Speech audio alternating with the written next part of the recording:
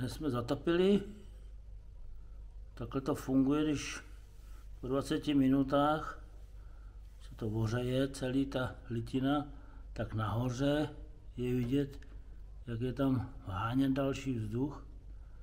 A tam je to dvojí spalování, že hořejí ty plyny.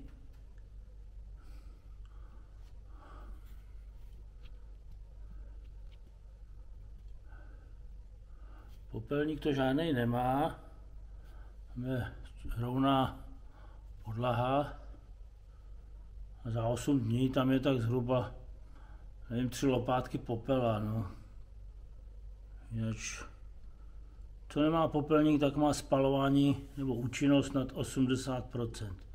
Mně bylo řečený. Bez popelníku to dělá jenom pět výrobců. Český teda ani jeden. Protože to mají všechno patentovaný a hlídají si to ty výrobci.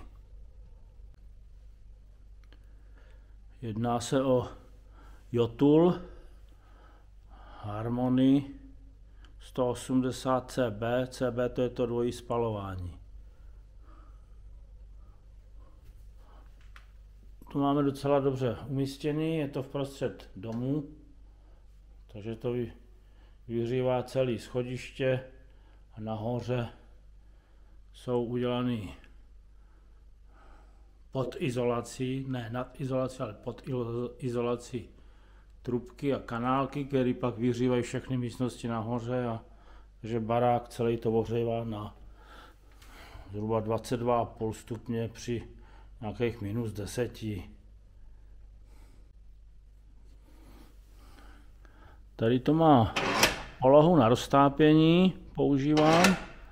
A tady pak dole je poloha, je ovladač na zadní klapku a teď tam mám daný 6 anebo 4 hodiny, takže po 4 hodinách nebo po 6 hodinách se přikládá. V 11 večer přiložím, v 7 ráno rozhrábnu, přiložím a jede to.